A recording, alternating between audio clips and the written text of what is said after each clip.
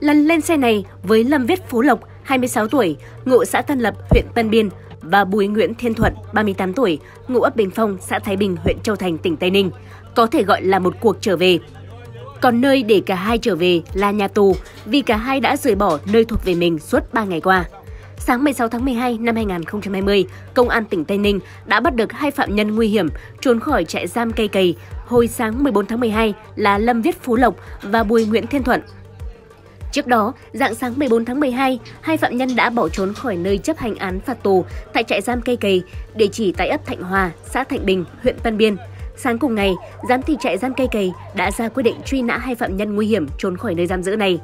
Theo thông tin Công an tỉnh Tây Ninh, Lâm Viết Phú Lộc đang chấp hành mức án tù trung thân về tội giết người từ năm 2017 và Bùi Nguyễn Thiên Thuận đang chấp hành mức án 27 năm tù với 3 tội danh trộm cắp tài sản, cướp tài sản và giết người từ năm 2008.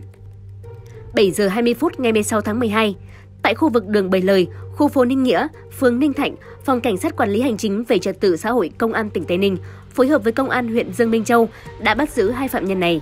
Đáng nói, lực lượng công an còn tìm thấy một con dao trên một chiếc xe đạp. Cùng với đó, công an còn tìm thấy trong hành lý của hai phạm nhân còn có radio, áo mưa, kìm, bật lửa, băng keo, chai dầu gió. Bước đầu, cả hai khai nhận thời điểm đang thi hành án trong trại giam, cả hai bắn nhau bỏ trốn. Khi cả hai đang đi tới khu vực đường Bầy Lời, phường Ninh Nghĩa thì bị lực lượng công an bắt giữ.